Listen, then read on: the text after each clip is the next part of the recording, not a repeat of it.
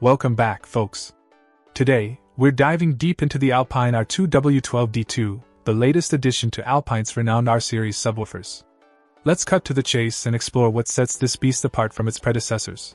First up, let's talk about that motor structure. Alpine has seriously upped the ante here with larger, double stacked magnets, delivering more motor force for bass that's not just deeper but also tighter in its control. It's like having a powerhouse in your sound system. And that oversized dust cap? It's not just for show. Crafted from a hybrid polyceramic composite, it adds rigidity while damping vibrations internally, resulting in bass that's not just loud but impressively smooth. Say goodbye to any unwanted rattling or distortion. Now, onto the high amplitude multi roll surround technology. Sounds fancy, right? Well, it is. This tech ensures that the cone efficiently moves air while keeping cool, resulting in unparalleled accuracy.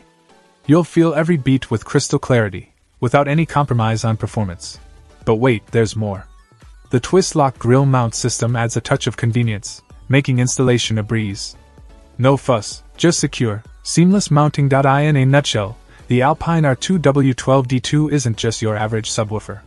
It's a game changer, pushing the boundaries of sound performance with its innovative features and uncompromising quality.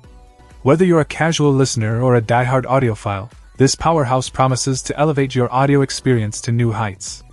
So, if you're ready to take your bass game up a notch, look no further than the Alpine R2W12D2. It's time to feel the music like never before. Check out the video description for updated price. And thank you for watching this video.